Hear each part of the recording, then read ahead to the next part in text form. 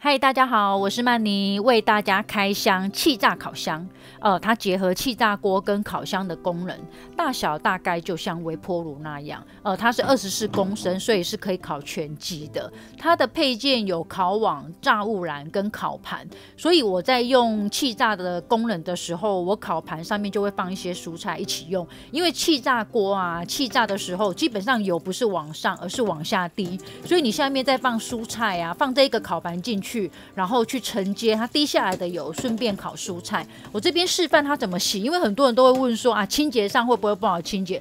其实你每次使用完都洗它啊，都洗干净，其实就好了。呃，就像过年的时候，大家都要大扫除厨房，可是事实上我都不用，因为我每次用完，我就是都会把它清洁的很干净，这样就够了。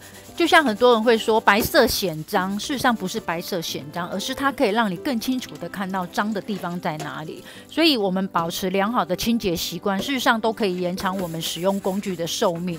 呃，我会选择这一台气炸烤箱，还有一个很大的原因是它是不锈钢。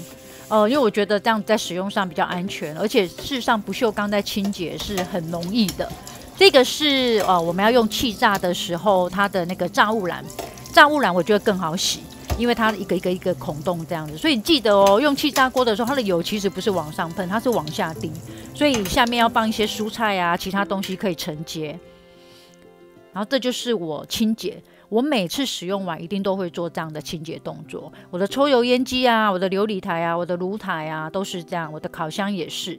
用湿抹布，然后趁着气炸烤箱里面还有点温度的时候下去擦，其实很轻松就可以把它擦掉。只要每一次你都有确实的做到这样的动作，我相信它都会保持的很干净。我自己是每次在所有清洁动作都做完之后，我还会用我的手去摸摸看有没有油。对，抽油烟机我也是一样这样对待，所以我的清洁方式教给大家喽。那这台气炸烤箱呢？因为我觉得它很好用，所以推荐给大家。原来的售价是四千九百九，那团购价是三千五百八。呃，团购的日期在十二月十四开始，只有两个礼拜。呃，下单后三天左右就可以开始出货了。呃，链接都在说明里，大家自己连哦。好喽，我是曼妮，我们下次见，拜拜。